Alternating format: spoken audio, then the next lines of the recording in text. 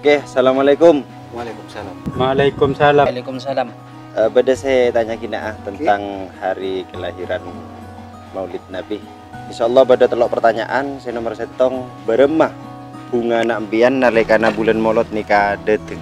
Eh, bekto bulan mulot, bekto lahir kanjeng Nabi. Eka bunga na ate wajib pasyokor. Muntun gue lagi pasyokor karena ibu bulan kadinto. Bulan lahir aku stay kanjeng Nabi. Alhamdulillah sangat senang terbunga.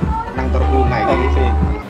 Kami sebagai bagian dari anak-anak muda tentunya datangnya bulan maulid ini adalah suatu kegembiraan bagi kita semua. Terkhusus di mana di bulan yang mulia ini kita mendapatkan sebuah aspirasi dan spirit baru bahwa saat baginda Nabi muda itu sudah memberikan sebuah toladan dan contoh bagi kita semua. Tentunya ini akan menjadi sebuah hal yang positif terhadap bagaimana gerakan anak-anak muda ke depan. Dengan tidak meninggalkan apa yang sudah disampaikan oleh para guru-guru kita para kiai tentunya dengan hadirnya bulan Rabiul Awal ini bulan yang mulia ini bagi kami eh, anak-anak muda tentunya sangat senang dan kita sangat bergembira dan ingin ikut dalam euforia kegembiraan ini. Datangnya bulan Maulid pada dekade ini tentu eh, kita harus bersyukur kepada Allah Subhanahu wa taala telah diberikan waktu dan kesempatan untuk hidup dan memeriahkan tentunya kelahiran Nabi kita Muhammad sallallahu alaihi wasallam karena eh, kita yang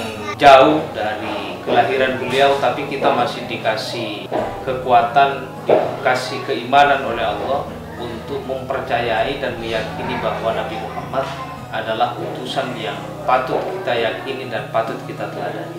senang Senang datang lagi ke kanjeng Nabi. Mata.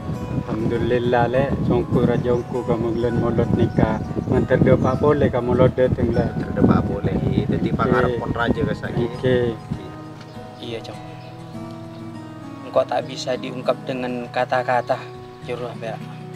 Mungkin kelahiran aku kanjeng Nabi ni kagula sangat nah. Amar ke abe teroba rokana Gusti kanjeng Nabi Muhammad sallallahu alaihi wasallam. Setong bekto abe e parengi sampurna odi kalaben bedena Maulid Nabi ben asolawat ka Gusti kanjeng Nabi Muhammad sallallahu alaihi wasallam.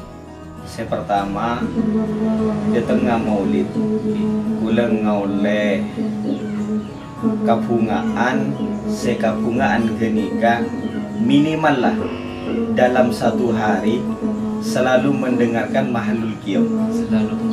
Solawat Solawat. kepada Nabi karena beliau adalah sosok yang sangat dicintai oleh umat manusia di, di dunia. Ya, betul. cuma mana bi solawat kita bisa mendengarkan di mana pun. Tapi ketika masuk bulan maulid tiap hari. ah setiap hari. Minimal setiap hari.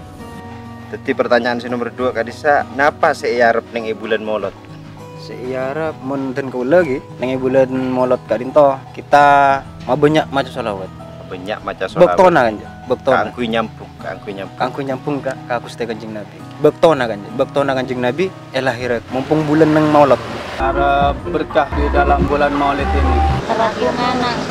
ngaji arbo oh karba arbo oleh Tekan sampai dengan kita kabuli. Harga kudu tekan ada ning sarasor le Ya ano, bubuki tete. Nanti dari amolotan. Menapa ni kecet dalam mata ni kata role. Sianwa mau mapungaan ni kanuna kanjeng Nabi. Caca serengkonan dek nuro arbe ni ka. karba Engke dan siano kan terus merayakan itu dek. Engke kita kita. Harapan nangko si nomor setong gila. Arwah nomor setong salamat dunia sampai akhirat. Manter tep tepa mahabbah. Dak kanjeng Nabi Rasulullah. Terus asapun sambungan terus. Harapan eh, kami eh, tentunya kita harus mampu meneladani eh, apa yang sudah dicontohkan oleh baginda Rasul. Bahwa di saat usia mudanya beliau sangat memiliki peran dalam segala aspek dan kehidupan. Eh, kalau menurut saya dengan datangnya Maulid Nabi ini kita perlu untuk memperbanyak pembacaan dan kegiatan-kegiatan salawat dalam rangka untuk terus menyiarkan kebesaran Nabi Muhammad SAW. Eh, kembali ke awal bahwa di zaman sekarang ini tentu ada banyak uh, kreativitas atau banyak seni budaya yang berkembang tapi uh, budaya sholawatan, hadra dan manakiban, salawat-salawat yang lain tentu perlu dikembangkan menjadi uh, apa namanya syiar kita. Jadi pertanyaan si terakhir, beremah saumpama samangken, mpian nikah seandainya era bui sareng Rasulullah yang ada panjenengan. Andai eh, beliau berada di hadapan eh, saya, saya tentunya ingin menyampaikan bahwa tidak ada eh, kekuatan dan pengharapan lain terhadap kondisi, eh, situasi dan eh, keadaan bangsa yang saat ini kecuali eh, kehadiran beliau. Baik, eh, tentu yang pertama eh, saya akan banyak memohon dan meminta kepada beliau agar eh, ketika meninggal husnul khotimah itu yang pertama. Yang kedua tentu eh, akan meminta bagaimana anak cucu saya sampai dikuatkan sampai akhir zaman nanti dikuatkan iman dan takwanya kepada Allah Subhanahu wa taala tentu eh, tetap mengagungkan kepada junjungan kita Nabi besar Muhammad SAW berkaitan dengan paham-paham yang hari ini sudah mulai semarak rupa-rupanya walaupun kelompoknya kecil tapi menguasai media sosial bagaimana sedikit banyak tentu memiliki misi dalam rangka untuk eh, apa namanya menghilangkan budaya dan tradisi yang sudah menjadi eh, keyakinan kita untuk kita terus semarakkan untuk terus kita kembangkan. Sobung sobung siung siung kapakina. Napa kira-kira saya atau rakia seandainya ya hadiri dalam keadaan Sobong. kondisi abe nikah tu saraja Cukup. Gusti Allah. cukup. Gusti kanjeng Nabi kadinto segalana. Napa polen saya torakin Gusti Nabi? Karena kalaban bedena Rasulullah kalaban bedena Gusti kanjeng Nabi teti ten kaula kadinto kita semua kaparengan rahmat ben nikmat. Napa polen saya benta cukup ampun. Kalaban badan Gusti kanjeng Nabi kadinto pun cukup. Dari segalanya Alhamdulillah sangat senang manabe singa eh rabui sareng Gusti Kanjeng Nabi. Karena pas rabui Kanjeng Nabi ini suatu nikmat yang luar biasa dari Allah Subhanahu wa taala. tak bisa napa saya atau Thank rakia. you. Tak bisa diungkapkan dengan kata-kata. Ibu Rasulullah.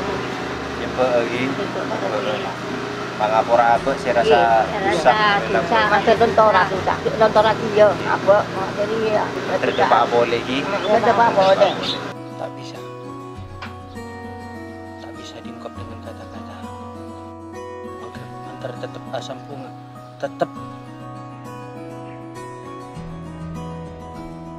Jadi mun berdaya yadunan Gusti Kanjeng Nabi Abek masih tak duka saya atau rakina agak Gusti Kanjeng Nabi. Terkecuali kum asolau untuk Gusti Kanjeng Nabi Tanu ke mana tele? Anu kengke. Jadi kau pangarkan dulu mer abah raja tusa. Nana sapora le untuk sapora asin untuk Jadi gak guna pak.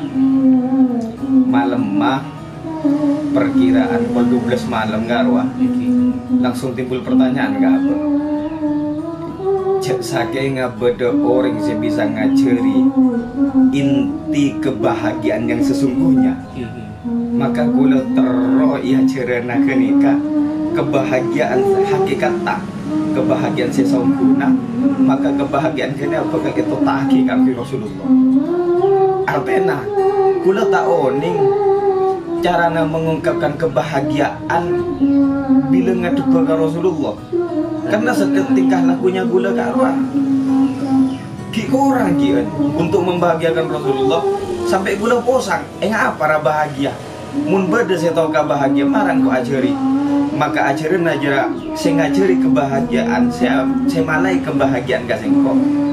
Maka kebahagiaan bakal itu tak bareng kok kagui Rasulullah maka nih kak. Bukan berhadapan. Um berhadapan boleh. Tadi bahasa gitu. posang cek saya ngaku le ngocak arwah salim nali umat tinggal ya. Tahun nih gula tak.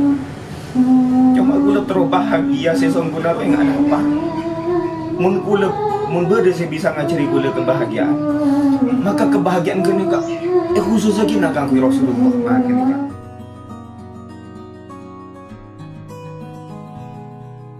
Tak bisa. Tak bisa dengan kata-kata. Tak bisa ya, gak bagi tuh. Kali kan.